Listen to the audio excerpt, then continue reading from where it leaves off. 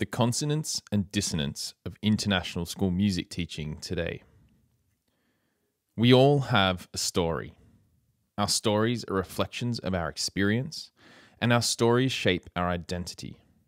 Our stories are the essence of who we are. They provide the lens with which we see the world. Stories inform our beliefs, our biases, and our actions. This morning, I'm going to draw on the collective stories of international school music teachers from around the world. In doing so, I want you to reflect on your own story. What is your journey to becoming an international school music educator? How has your experience of music throughout your life shaped who you are and how you teach music today? What is your musical story, and how does this shape your identity? Some stories will resonate with you, and others won't. But that's just the nature of stories. I want you to position yourself within and around some of these stories and use them to launch you into the conference this weekend with renewed clarity. So, I'll start with some of my story. And as I tell my story, use it to trigger your own reflections. Let your mind wander, let your thoughts percolate. And oddly enough, my story starts here in the Netherlands. My parents were both Dutch immigrants to Sydney, Australia, moving with their families in the mid 60s as part of the post World War II migration wave out of Europe. So, my upbringing as an Australian child was layered with connections to my Dutch heritage. We had Dutch embroidery hanging on the walls, we cheered for Holland in the Football World Cup, no one knew how to pronounce my surname, and of course, I grew into a tall, fair haired teenager. Yes, that's me. My parents spoke Dutch with their siblings and my grandparents, but I never learnt the language. In those days in Australia, being Dutch made you an outcast and a target for discrimination. My parents were busily working away at not being Dutch at every opportunity. They renounced their Dutch citizenship, became Australian nationals, and never really entertained the idea of travelling back to Holland. But little did they know that globalization and Western liberalism would have a different agenda. By the time I was that fair haired teenager, I was firmly fixed on the idea of travelling to Holland. In fact, like most of my friends, I was pretty keen on travelling the whole world. Australia was a long way from everything, so travel was the key to unlocking cultural understanding and global experience. Now, peppered throughout my childhood was music. My grandfather was a church organist, pianist, and choir conductor, and my dad is a pianist and bass player. I distinctly remember the pitter patter of fingers on the electric keyboard every night when dad came home from work. Headphones on and body and mind fully immersed, music was his escape after a long day in the office. I reluctantly sang in the church choir, but my three brothers and I happily sang our favourite songs together in the car and learnt how to harmonise with each other. Music was there, but my real love was another favourite Dutch pastime football, aka soccer. As young as I can remember, I was tearing around the field after a ball. I trained most days and was selected for representative teams. But at 16, it all fell apart. After a heavy challenge from an opponent, I snapped my anterior cruciate ligament, the main piece of the puzzle that holds your knee together. It hurt a lot, and I even tried looking for photos from that period. Interestingly, there were none. The injury also meant a major operation and no football for nine months. Luckily, Mum had encouraged me to pick up the bass guitar a couple of years earlier. She'd suggested I try another hobby, that I liked music, and that I might find a useful outlet in it, like my father. I'd picked up the bass, Dad called some notes over his shoulder from the piano, and I was off and running. It was a special day when my grandfather, Dad, and I played a gig together. And you can tell we don't take our photos too seriously either. So, in my sedentary post operation state, I poured my heart into the bass. Seven years later, I had finished a double degree in music and education. In those seven years, I also worked as a professional session bass player, toured with a band in the US, opened my own music school, played in orchestras, and sang in choirs. I liked performing, but I loved teaching. I still enjoyed football, but my profession and future would be in music education.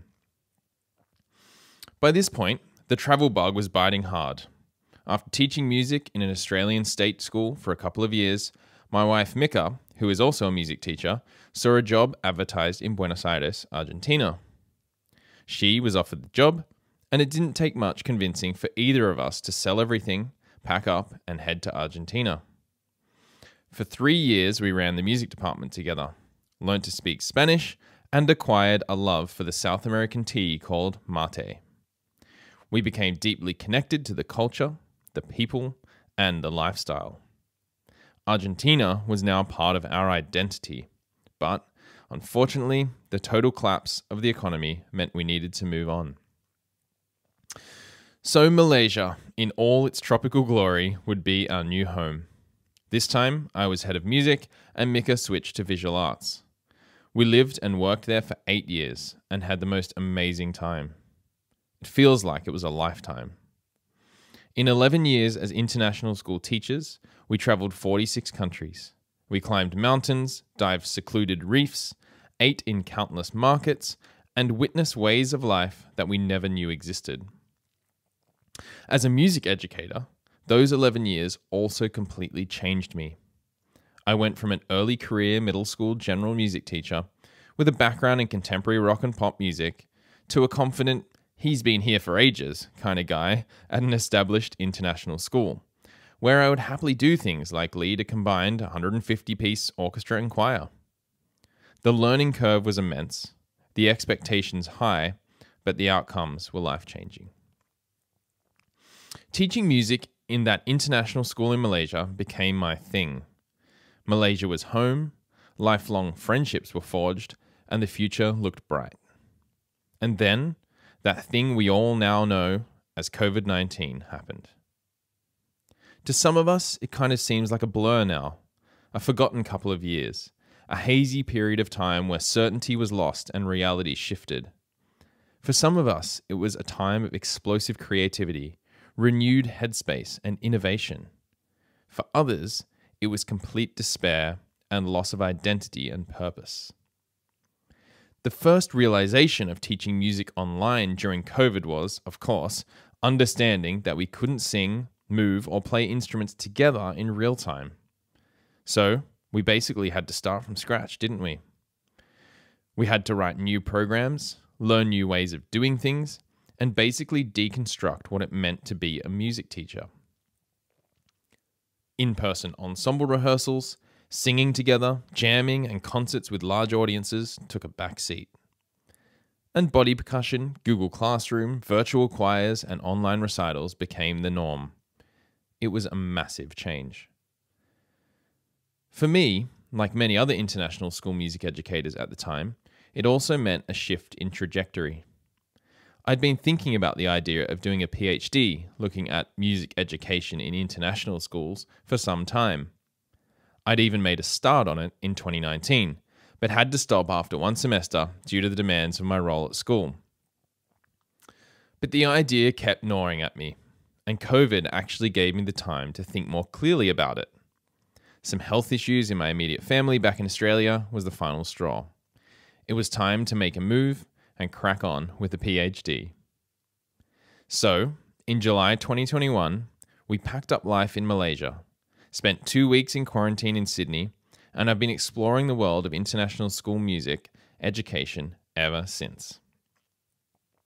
As part of this process, I've been interviewing international school music teachers from around the world via the Music Teachers in International Schools podcast. The podcast aims to take a deep dive into the unique world of international school music teaching, to build connection and share knowledge. It builds on the vision of organizations such as AMI to bring international school music teachers together, to learn from each other and build bridges between our little music department islands. Through lots of reading and writing, the podcast interviews, and formal interviews for my PhD, I've been building a picture of the complex international school music education world that all of us here call home.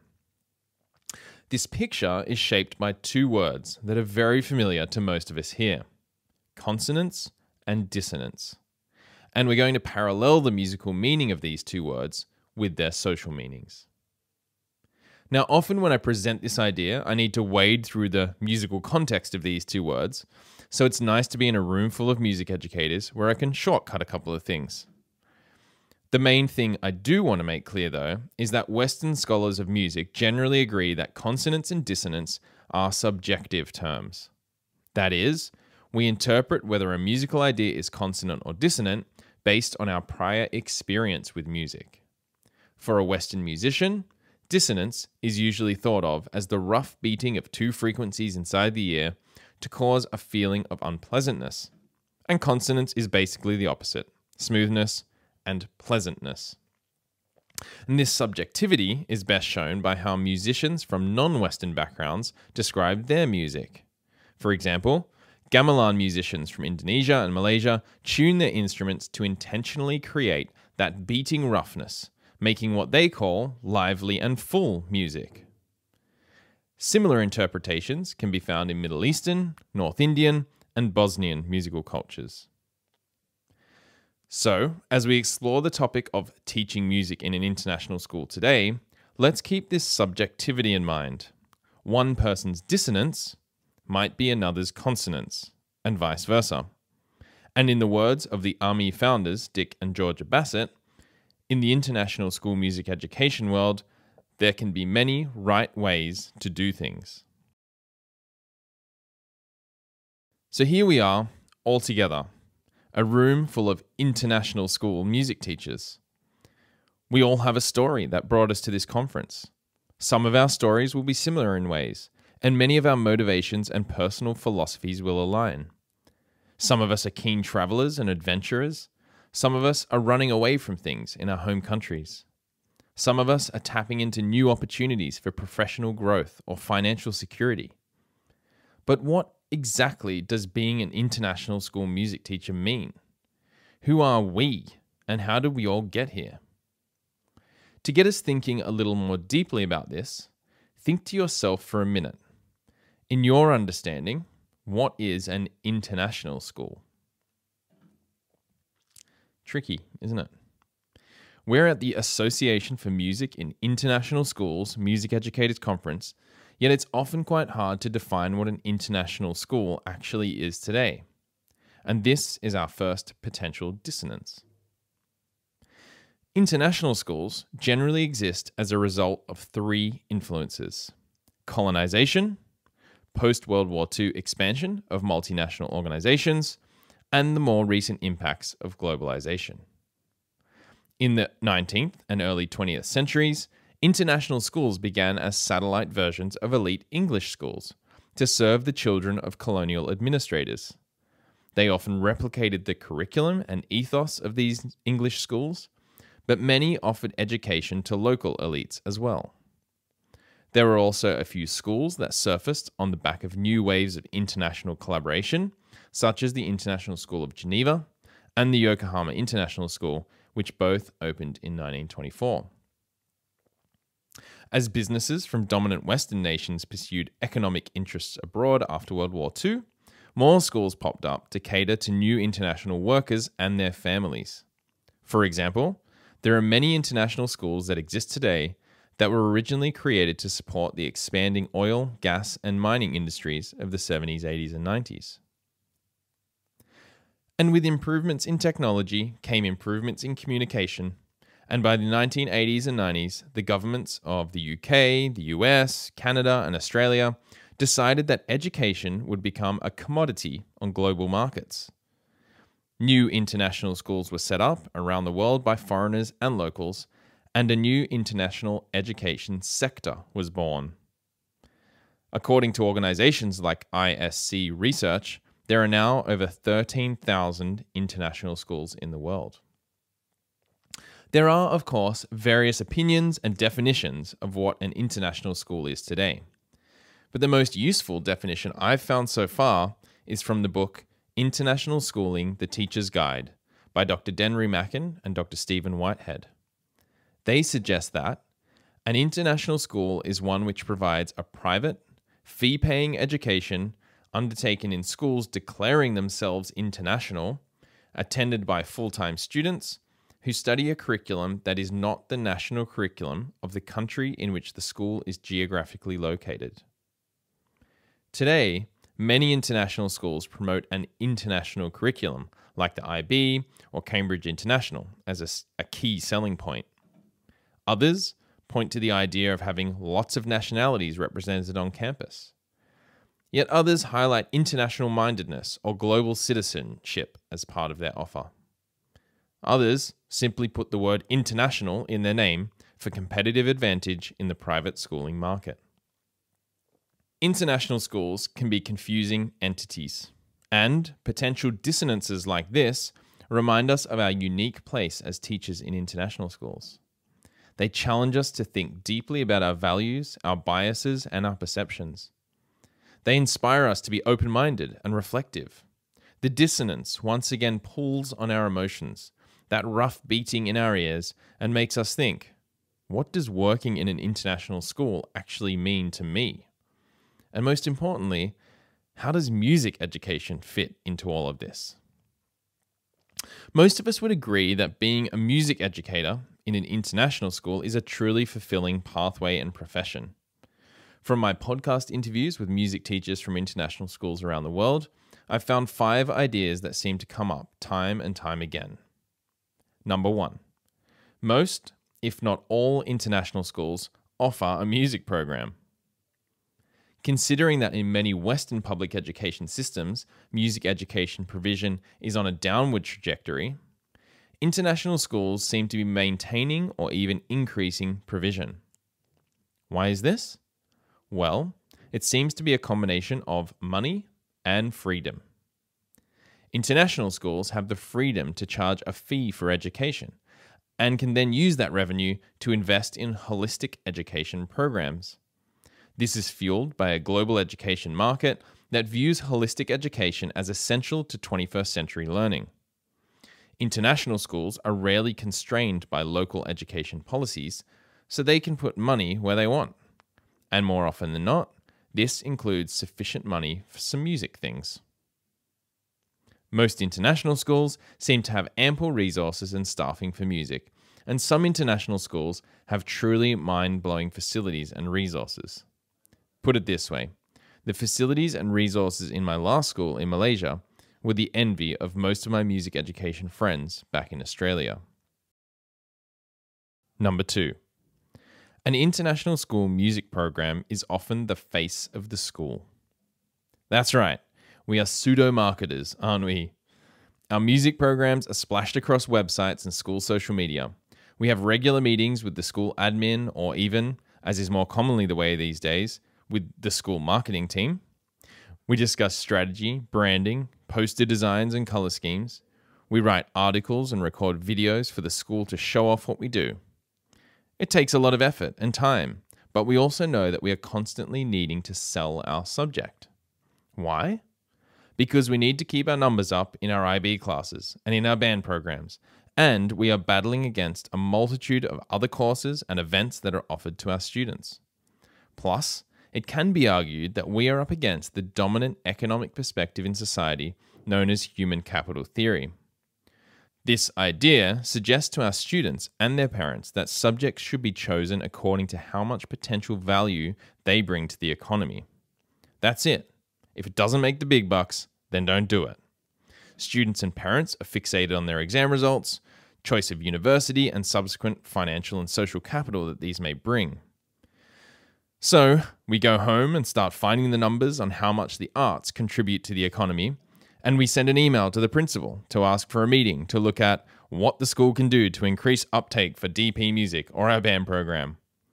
The next day, the school principal replies to our email saying, Yes, sure, let's do it. How is next Wednesday at 10 a.m.?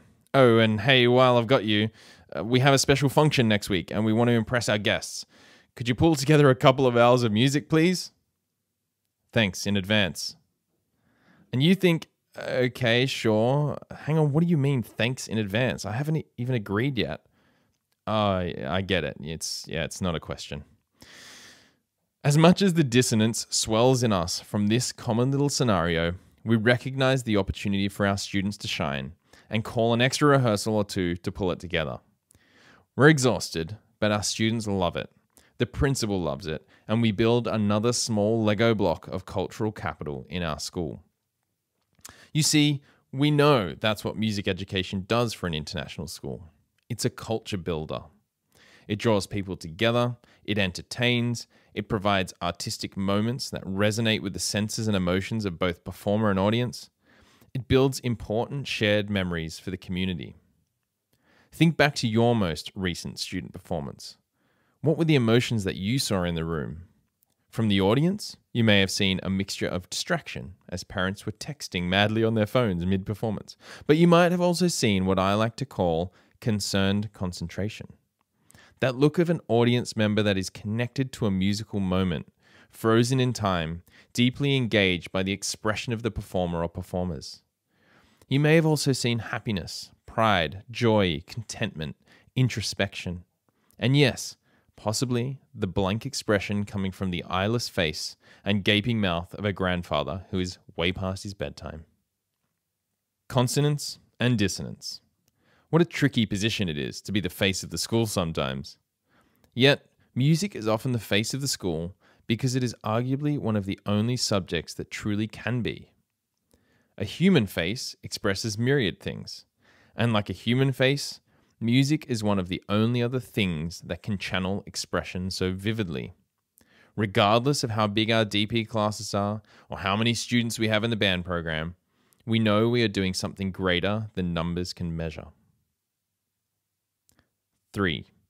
Teaching music in an international school can often be an isolating experience. Almost all of my podcast guests have mentioned this idea, and usually it comes in two forms. The first form is, of course, geographic isolation. I recently interviewed Alison Armstrong. If you don't know her, please do look her up on Twitter. Alison has just moved to Tashkent International School in Uzbekistan, and as you can imagine, there are only a few international schools in Tashkent. When you are living and working in a place like Tashkent or Phnom Penh or Santo Domingo, it can be tricky to build networks. You don't have the state, district, or county education system bringing you together with other music teachers. If you're lucky, you might have an organization like AMI to help, but otherwise you end up grinding along on your own, grabbing ideas and resources from wherever you can. The other form of isolation we experience is curricular isolation. Although most international schools offer music as a subject, it can still often be seen as an other or extra subject. School leaders without a background in music might have no idea how to support the development of pedagogy and content for music education, so they just simply leave the music teacher alone. Again, consonance and dissonance. The isolation can mean that the music teacher can plow on, be creative and innovative, and draw on influences from literally all over the world to build an amazing curriculum. But sometimes We'd love to be given the same kind of attention and support as other subjects, right? So, what about you? Have you experienced either of these forms of isolation? Maybe a bit of dissonance for some of us as we think this through. Number four, international schools are pioneering new ideas in music education pedagogy. Okay, let's see if we can cultivate some serious consonance now. Through my interviews and interactions in the international school music education space, I have noticed two exciting patterns.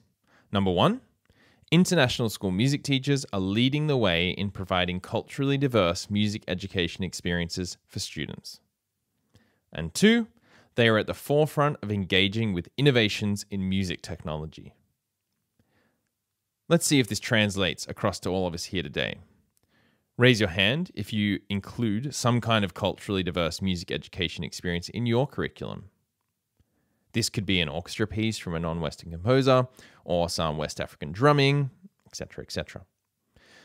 Okay, raise your hand if you include some kind of tablet or computer based music learning in your curriculum. International schools are wonderful sites for exploring culture through music. Our increasingly globalized world often tries to homogenize us into one unified identity. But music educators tend to resist this force We know that all cultures use music to express ideas, and as international school music teachers, we recognize our special place in celebrating the uniqueness of different cultures. We sing, move, and play instruments from all over the world. We spend time earnestly learning about the social and cultural context to communicate these distinct musical ideas.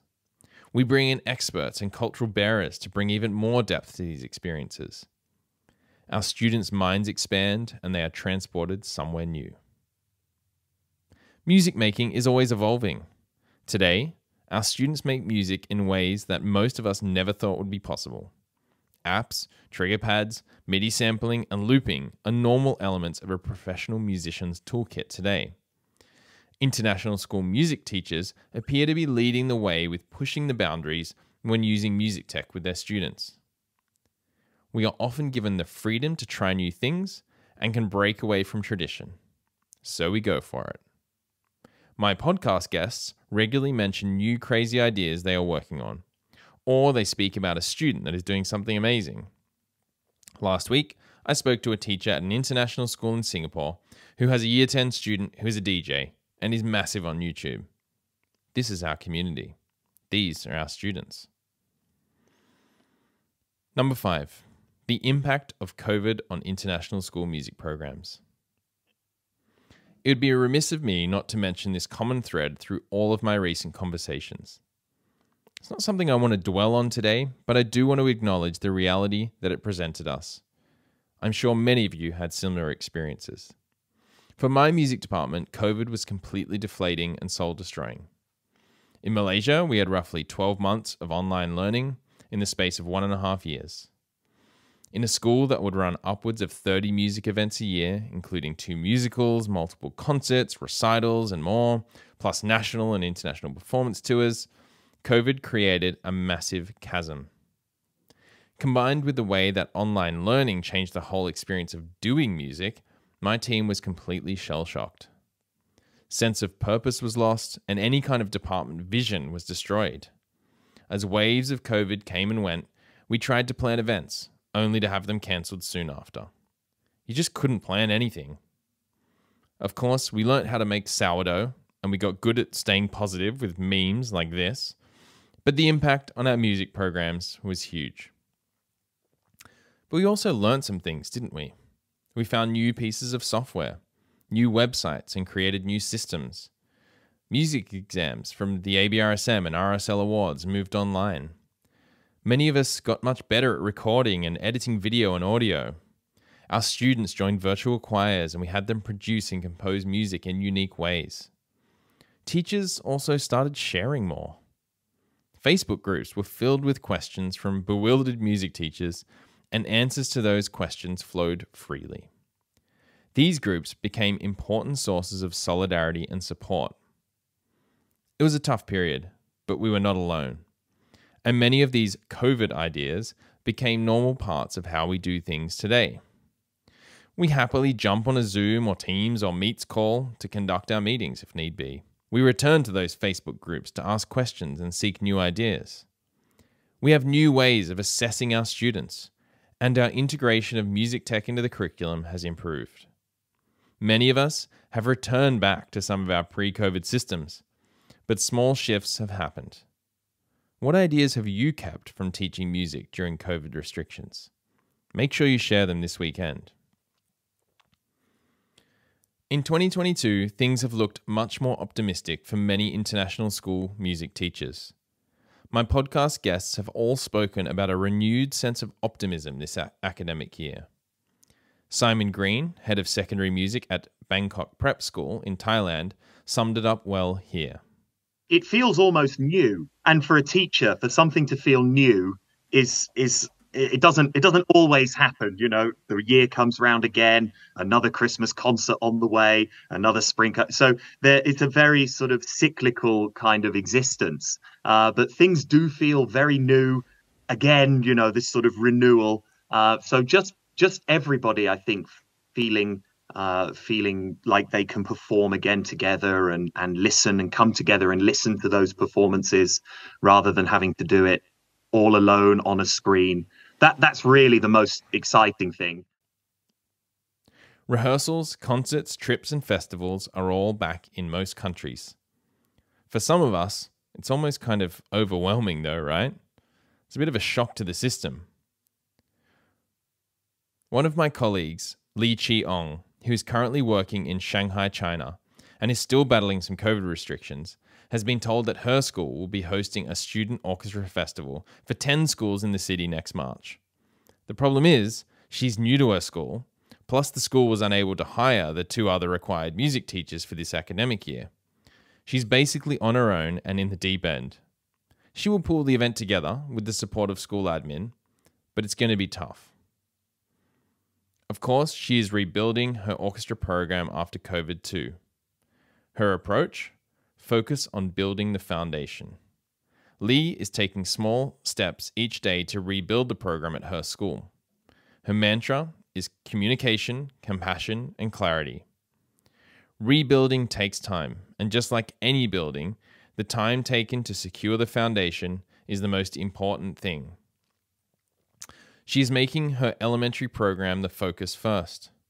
She recognizes that building an orchestra program takes time, that if she can get her grade 5 and 6 students going, then after a couple of years it will filter into secondary. It has also been super important for her to clearly articulate this to her principal she has dared to start looking ahead and has created vision for what the next few years will look like to help kickstart the orchestra again. What are some of your strategies for rebuilding your programs after COVID? Take this weekend to seek advice and share some success you've had with your fellow delegates. So, amongst all of this consonance and dissonance, our stories will keep on guiding us. It also leaves us with the questions what is ahead for international school music teachers? What challenges will we face next? How will we maintain our programs? How will we continue to react to the constant changes in the way music is experienced in society?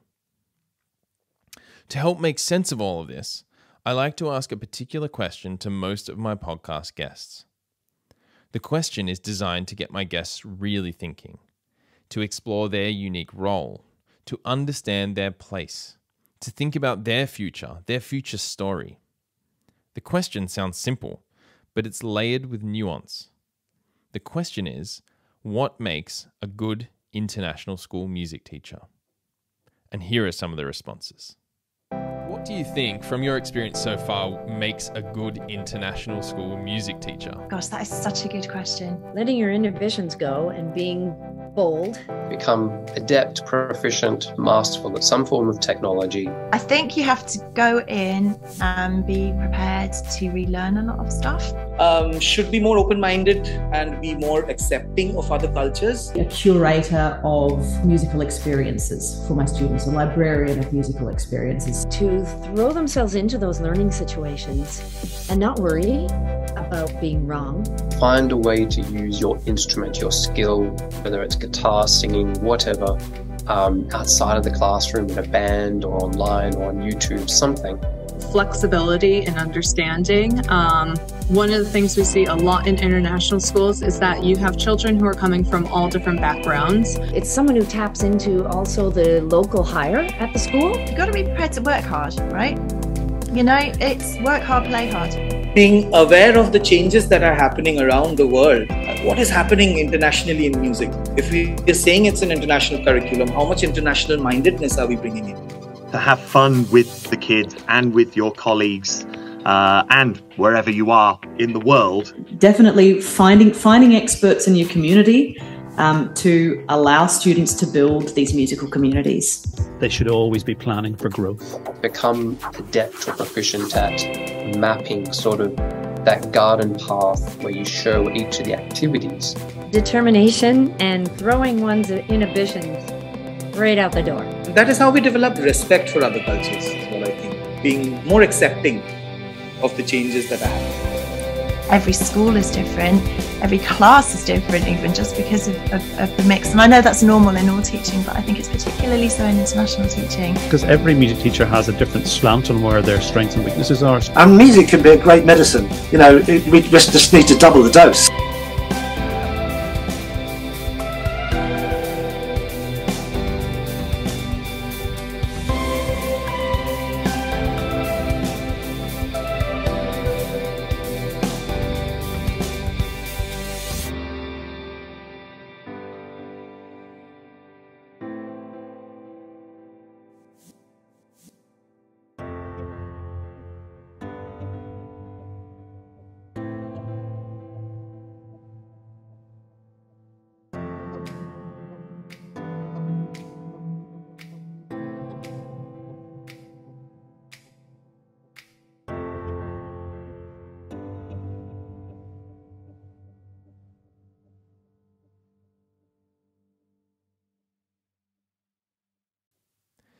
Thank you for what you are all doing to impact the lives of the young musicians in your care.